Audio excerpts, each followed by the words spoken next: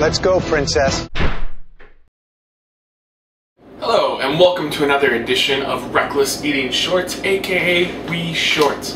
Today we're going to be trying honey mustard pretzels from Archer Farms. I was walking around in Target, actually had these. Uh, it's an interesting concept I've never had before. Uh, pretzels with honey mustard flakes on them. So, you know what? Let's just give it a shot and see what, uh, we can do here. If I can open the bag, because the bag seems to be a big pain in my ass right now. Hold on. I got this. I will not have to cut. I got it. I'm the man. Alright, so just some facts about this. Uh, 120 calories, uh, 2.5 grams of total fat. Um, you know, the usual, lots of sodium, 320 milligrams. Um, 21 carb carbohydrates. Just, it's not something you want to eat all the time. But, uh, you know, I like pretzels, so let's see, uh, let's see what we got here.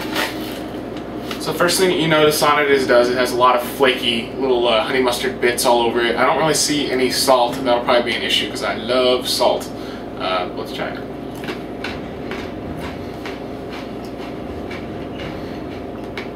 It's okay. Definitely lacking the salt though.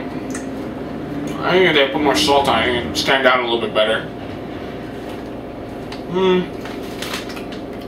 I'll try one more. Of course, it's a pretzel, so it's gonna take like nine hours for me to swallow it. That's what she said.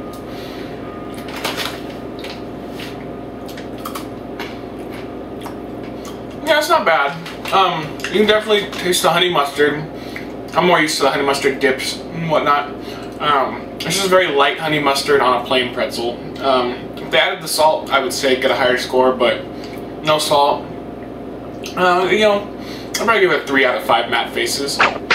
But, yeah, nothing too bad. So maybe if you see them, I'd say it's good for a one-time try. I don't think you'll ever get them again, but honey mustard pretzels uh, from Archer Farms.